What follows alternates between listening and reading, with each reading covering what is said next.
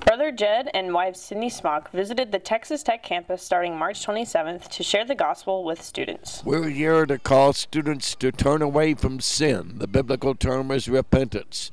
And to believe on the Lord Jesus Christ, who will deliver them and set them free from sin and give them eternal life.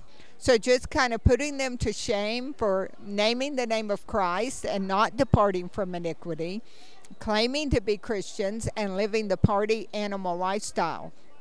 And I blame some of this on pastors, Sunday school teachers, and parents who have taught their children defeat that they can't help but sin every day and thought, word, and deed.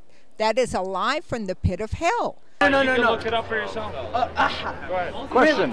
So, what if you're so Many students had different views on what Brother Jed and wife Cindy Smock had to share. I think it raises a lot of questions, which is good.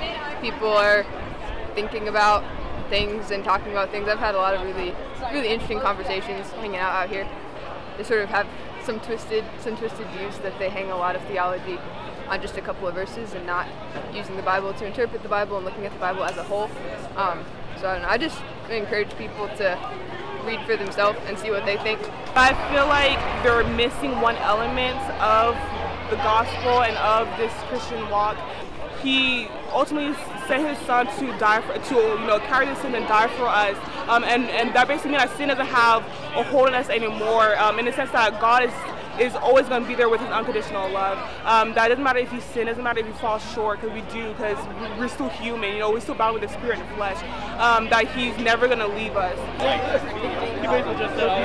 Jed and Cindy Smock had large crowds surround them at all hours of the day to hear what they had to preach. Love the students. God loves them. They need to learn to love God. And they show their love for God by obeying God. All acts of sin are acts of selfishness, they're unloving acts. So they need to stop their sinning and follow Jesus.